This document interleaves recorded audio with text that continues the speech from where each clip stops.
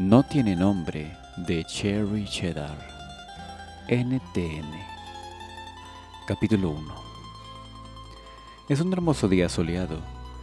La colina de Pony se viste de verde. Miles de florecillas silvestres aportan alegría al panorama. Candy en la cima observa el paisaje frente de sí. Siente como la brisa la devuelve y la acaricia, haciendo revolotear sus rizos en una suave danza. Entre sus manos sostiene un sombrero de paja con listones rojos de seda, que combina con los de su cabello. Alza su mirada al cielo, cierra los ojos para sentir los rayos del sol bañar su rostro, esperando que éste le proporcione un calor que siente perdido desde hace un par de meses. Un largo suspiro sale desde el fondo de su pecho, haciendo volar sus pensamientos más allá de donde se encuentra en este preciso instante, junto a esa persona que extraña terriblemente. Ya hace meses, hace tres meses y medio que no sabe de él y siente el dolor de la pérdida tan latente como si lo estuviese viviendo nuevamente. Por su mente pasan escenas, como cuando lo vio de espaldas en el Mauritania, entrando estrepitosamente en la iglesia colgando de su hombro el saco de vestir negro, incomodar a la madre superiora y lanzarle una mirada traviesa, atacar a Neil y sus amigos para defenderla, al sonar de un melodía mientras está recostada en el césped, unos brazos que la rodean firmemente mientras los dos bailan, sentados al calor de una chimenea mientras afuera cae la lluvia, la bofetada que le propinó por atreverse a besarla, Chicago, corriendo tras un tren para poder verlo, el corto paseo en coche por New York, tropezar torpemente y caer en el suelo entre sus piernas en el apartamento, una mirada de pena mientras carga como castigo el cuerpo de otra mujer, mientras la nieve empieza a caer insistentemente, escuchar sus pasos tras de sí hasta sentirse prisionera de sus brazos, temblar por miedo a alejarse de él, su mano cálida, firme, que le levanta el mentón para que le vea los ojos y esa voz grave y varonil decirle, ¿acaso vas a declararme mi amor, pequeña? ¿Vas a declararme tu amor, pequeña pecosa? Un nodo empieza a crecer en su garganta. Quiere alzar la voz tan fuerte para que él sea capaz de escucharla decir, estoy aquí. Sus ojos empiezan a humedecerse. Una lágrima quiere salir. Su ausencia en los escenarios fue una gran noticia.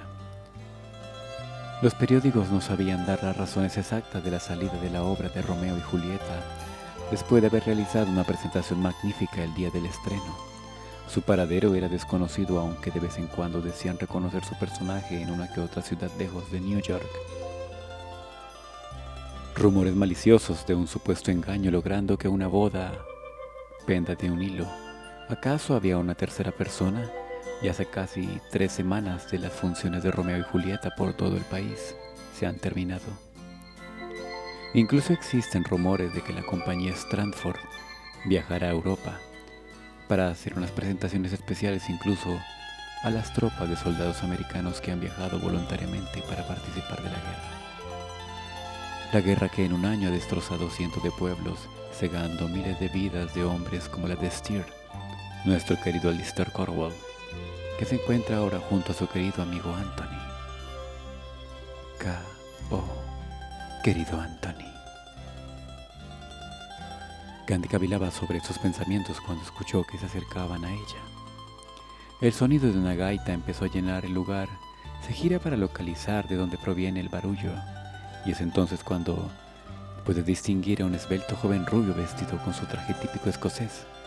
Como cegada por una revelación comprende que esa misma escena la había experimentado años atrás, logrando identificar finalmente quién es el famoso príncipe de la colina, que había permanecido en su recuerdo todo ese tiempo. No fue Anthony, en realidad es Albert. Atónita ante tal imagen, su corazón late intensamente dentro de su pecho, queriendo salir desbocado, maravillada por tal revelación. Siempre ha estado cerca de mi príncipe, dijo para ella misma.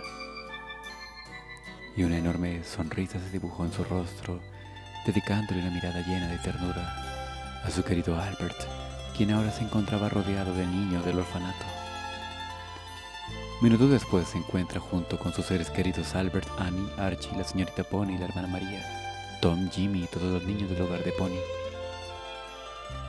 Los alimentos se ven deliciosos, han sido preparados con mucho cariño. Las risas inundan el lugar llenando la alegría los corazones de las madres. Están agradecidas con el señor Albert por haber cancelado el matrimonio de Candy con Neil Ligan. Sabían de sobra que el corazón de su pequeña aún no se ha recuperado, aunque en esos momentos la viesen disfrutar de la compañía de todos. En su mirada esconde una gran tristeza. Eso para ella no es difícil de adivinar, pues conocen bien la rubia intenta animar. Sentada en un extremo de la mesa, Candy cogía su sombrero y lo utilizaba como abanico.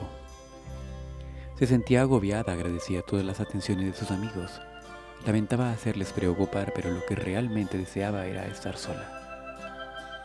En su cabeza aún rodaban las palabras que había leído de revista que le dio su hermana. Una revista que dio su hermana decía Terrence Grant Grantchester, un joven, un joven don del grupo Stranford. Terrence Grant Grantchester, un joven don del grupo Stranford, regresa, regresa a los escenarios del gran talentoso Terrence Grant Grantchester Después de estar en una temporada lejos de los escenarios, vuelve ahora con más intensidad a las tablas. Prepara un personaje para participar de la próxima temporada. Sus seguidores tienen grandes expectativas después de haberlo extrañado en la gira de la obra Romeo y Julieta. ¿Habrá campanas de bodas esta vez? Terry ha vuelto al grupo Stranford. Terry ha vuelto con Susana. Kabila la rubia. Ahora él podrá cumplir su promesa, ahora será ella quien disfrute de la compañía de Terry. Se casarán y vivirán juntos. Vivirá la vida que yo había soñado tener con él. No entiendo cómo pudieron llegar las cosas a este punto. Pensé que me buscaría en verdad. Me fue tan difícil olvidar nuestro amor.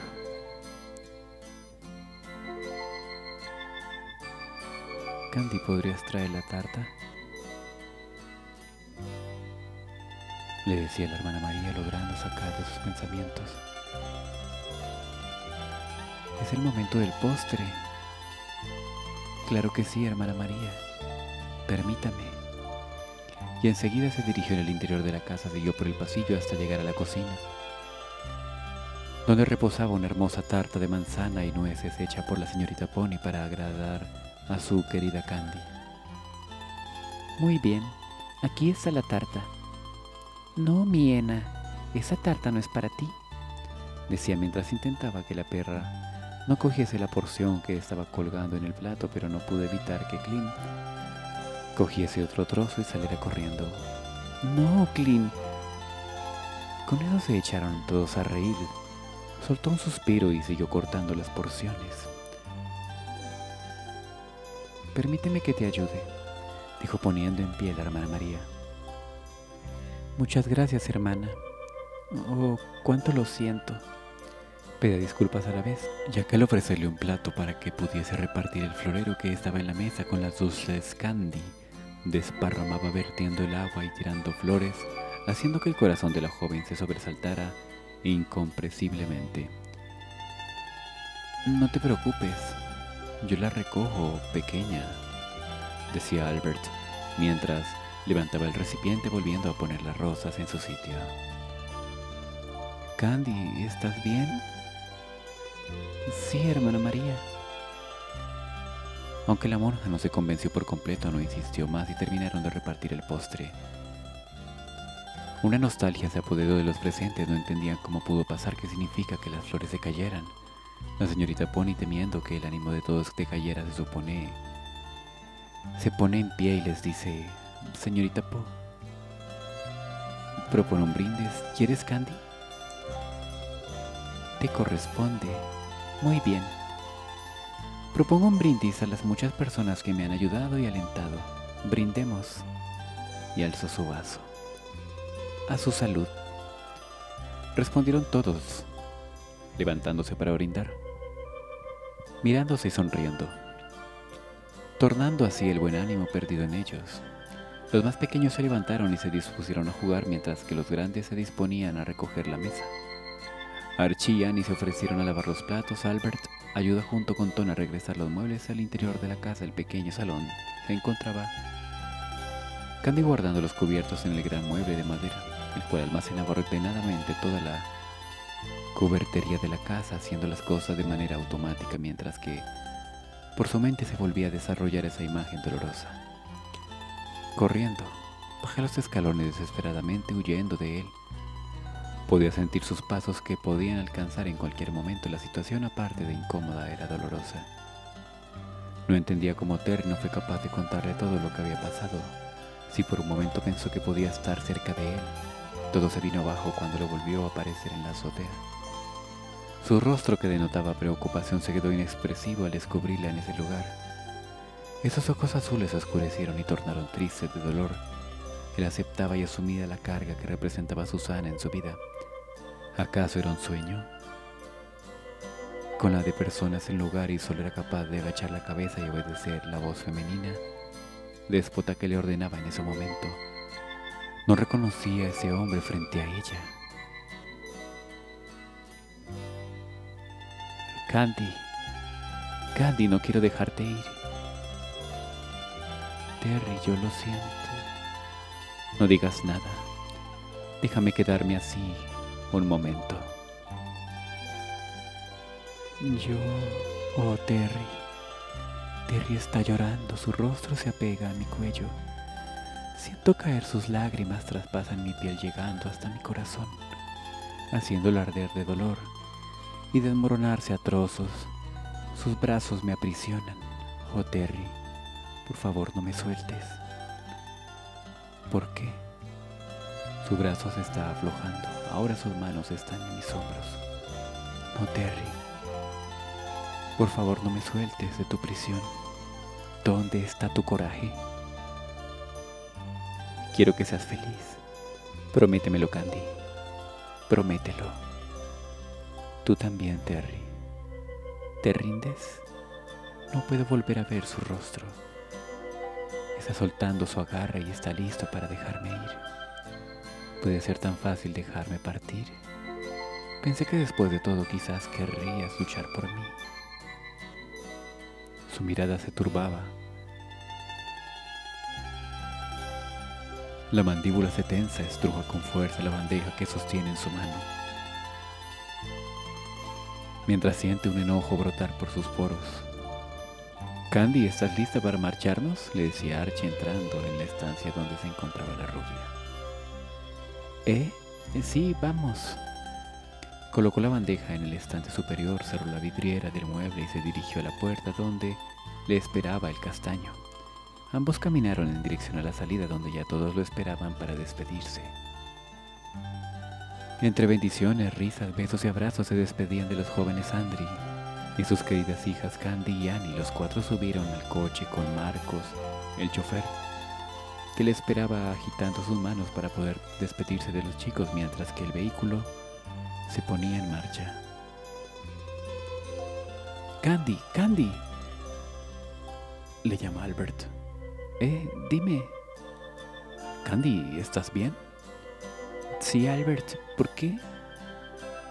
Sabes que puedes contar conmigo, pequeña. Pase lo que pase, siempre te apoyaré. Oh, Albert, decía cogiendo las manos, mirando de reojo a Archie y Annie dormían a un lado, del otro profundamente frente a ellos. Te lo agradezco. Sé que pueden contar contigo para lo que sea. El haber pasado unos días en el hogar de Pony me ha sentado muy bien. Claro que sí, pequeña. He pensado mucho y agradezco que me permitas seguir formando parte de la familia Andri. Eso no tienes que decirlo, sabes que te quiero como si fueses una hermana en vez de una hija. Reía dulcemente mientras acariciaba la mano de su pequeña. Ah, gracias, Albert. Pero después de una mañana, se has presentado como la cabeza de los Andri, el famoso tío abuelo William Andri Quisiera regresar a mi trabajo como enfermera. ¿Estás segura, Candy? Sabes que como miembro de los Andri no hace falta que trabajes. No, Albert. Siempre me ha gustado hacer las cosas por mí misma. Yo no soy una señorita de sociedad que le gusta las tardes de té y vestidos pomposos para fiestas. Entiendo.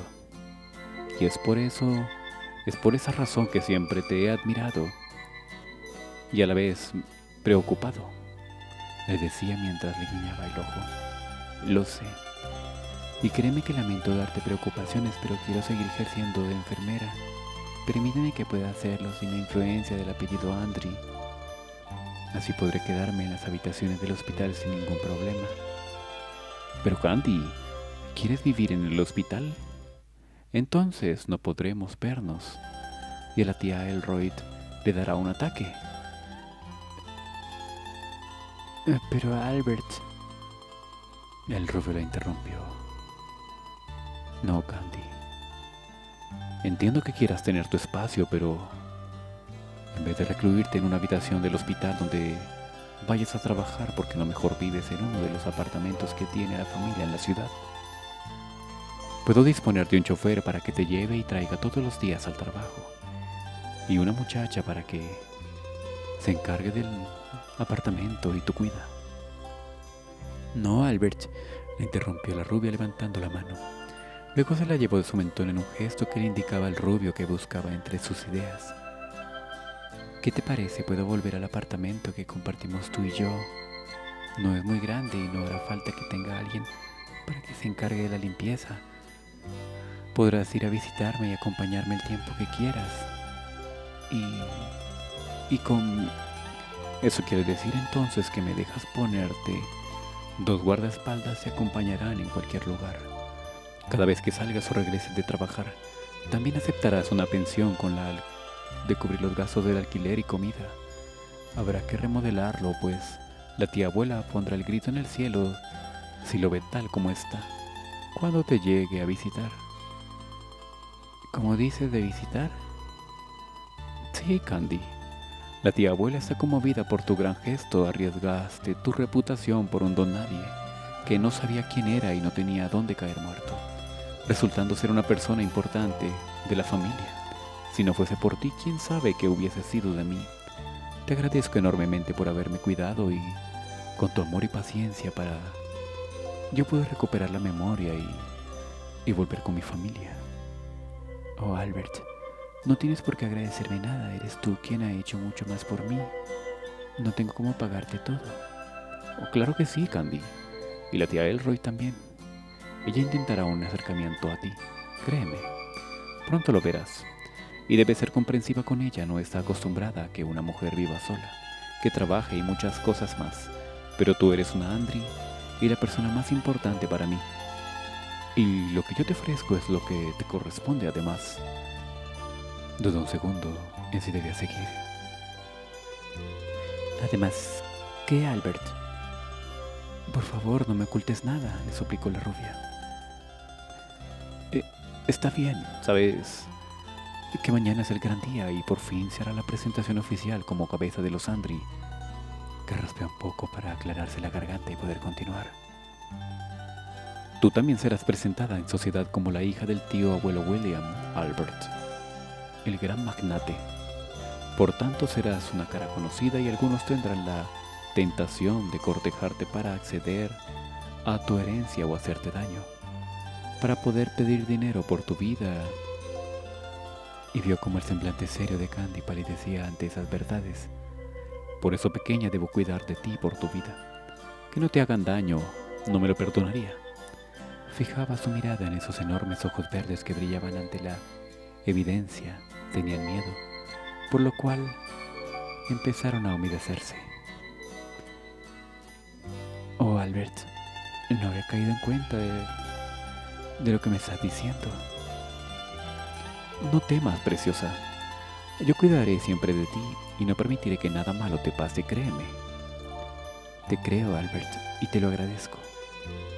Está bien. Haré como tú dices, para no darte más trabajo. Te lo agradezco, Candy. por ser tan comprensiva. Le dio un abrazo reconfortante, cálido, tierno, que los envolvió en una nube de ensueño, al cual se dejaron caer mientras terminaban de llegar a Ledwood. El coche seguía el camino sin mayor contratiempo, mientras que en el interior los jóvenes descansaban, pero los pensamientos del rubio empezaban a ensombrecerse como una niebla que posaba sobre su cabeza. Imágenes borrosas se presentaban ante él.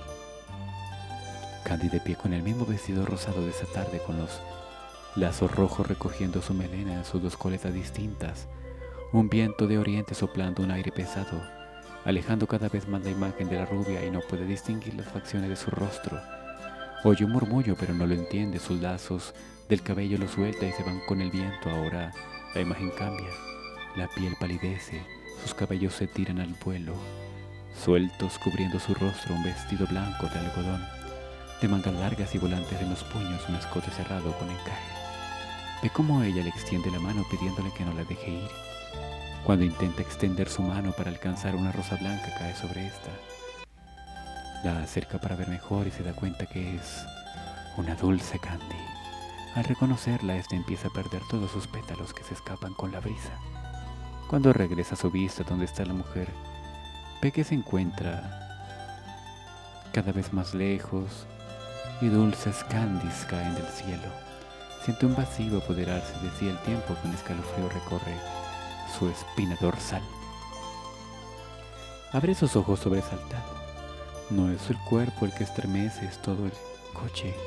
Marcos, el chofer, estaba entrando al terreno de los Andri por la entrada que estaba cerca del portal de piedra debido a que el principal se encontraban unos cuantos reporteros a la espera de poder hacer el retrato del magnate ante su presentación, debido a todo el revuelo que suscitaba un personaje con tanta influencia en todo el país, aún no conocía su rostro. Era la sensación del momento, logrando así distraer la atención de las noticias tan terribles que proporcionaba la guerra. Candy susurró. El joven Mientras la veía descansar plácidamente apoyaba en su hombro, se pasó una mano por su melena, queriendo despejar esos extraños pensamientos mientras fijaba su mirada en la ventanilla del coche. ¿Qué significa este sueño? ¿Por qué no podía verle el rostro a Candy? ¿Era realmente ella? Se preguntaba a la vez que la joven a su lado comenzaba a despertar. Mm, ¿Ya llegamos? Preguntó su acompañante estirándose perezosamente. Sí, estamos cerca, pronto nos bajaremos. Muy bien, entonces voy a despertar a los chicos. Archie y Annie despierten. Hemos llegado, les decía todo mientras con las manos les alcanzó a tocar la rodilla a cada uno. Ambos empezaron a despertar. Bostezaban y estiraban sus extremidades a medida que les era posible dentro del automóvil. Mmm, qué bien hemos llegado, decía Annie. Archie, ya era hora, estoy realmente hecho polvo. He agotado toda la reserva de energía corriendo y saltando con los chicos del hogar. No sé cómo le haces, Candy. Y que lo digas, Archie. Creo que todos venimos sin reservas. El día ha sido de lo más placentero, pero... pero también agotador.